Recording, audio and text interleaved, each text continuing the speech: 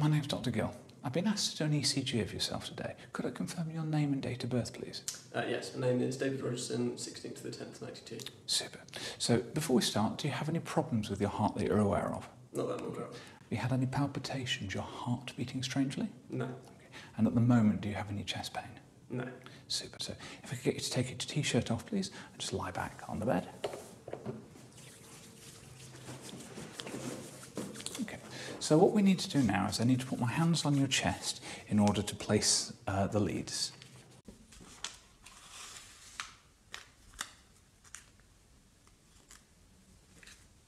I'm just going to put my hand on your chest and we need to find the manubriosternal angle, which is there.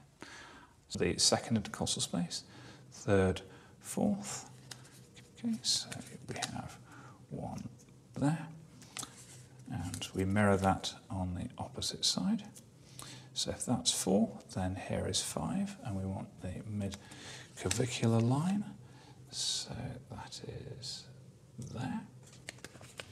We've got six. If we could move your right arm out a little bit. So six is the same, but mid axillary line. Five goes between six, four, and then three is between two and four. And if you could put your hands on your thighs, please. And then we need to put on the leads, so going on the outside of your wrist on both sides, the styloids. And then we want to go to the lateral malleolus, so the outside of your ankle, and same again over here. Right, we'll switch the machine on. One, seven, eight.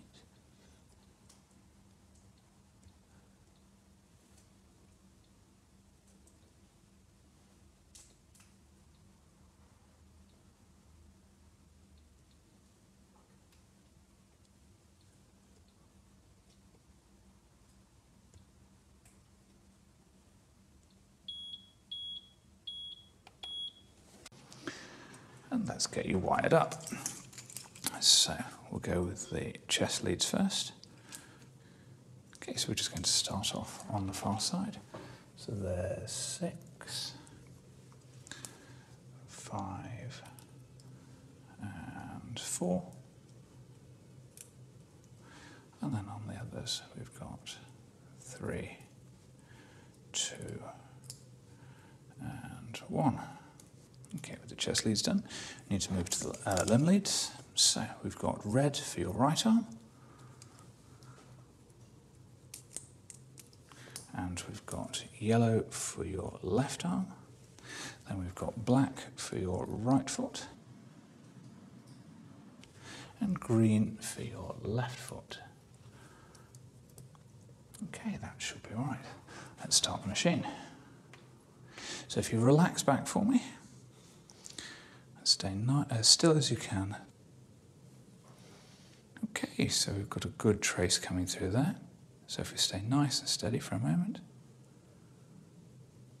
just nice deep breaths in and out. Okay, that looks good. Cracking.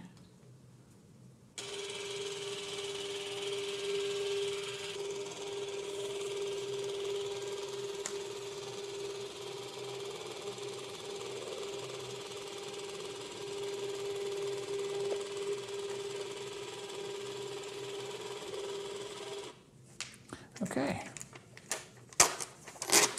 So we've got an excellent trace there. We've not got any obvious abnormalities, but we'll look over that in a little bit more detail in a moment. But that should complete things for the time being. So let's unclip it.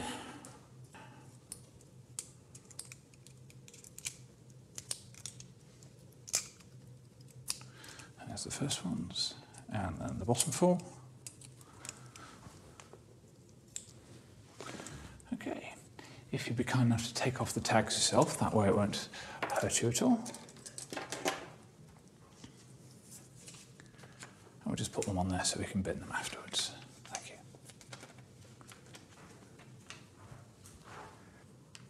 Okay, so that looks a nice normal ECG. and with good data there. Right. There's your shirt. Do you have any questions about that ECG? No, thank you. Super. Well, thank you for your time.